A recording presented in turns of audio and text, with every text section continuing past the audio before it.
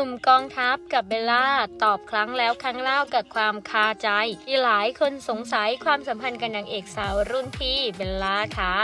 เบลล่าราณีกับหนุ่มรุ่นน้องอย่างกองทัพพีคพระเอกหนุ่มมาแรง หลังตกเป็นข่าวกันบ่อยครั้งเลยค่ะว่าควงนางเอกรุ่นพี่ไปอยุธยาจนขาเมาท์เขาก็ตีข่าวให้หึงว่า กองทัพพีคนี่แหละหนุ่มตัวจริงที่จะมาดามใจของเบลล่า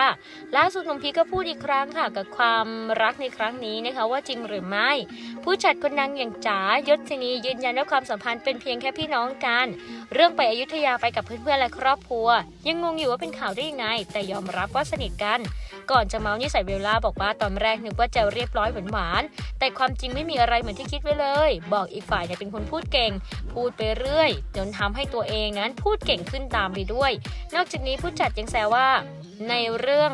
ให้รักพิพากษานั้น กองก็คือสนิทกันทุกคนเลยแหละ แต่ถ้ามีใครจะเป็นข่าวกับพิกจริง ๆ ควรจะเป็นแม่หนูผู้จัดเพราะว่าพิกสนิทด้วยมากที่สุดแล้ว เล่นเอาเจ้าตัวเนี่ยขำกลิ้งกันเลยทีเดียวเลยค่ะ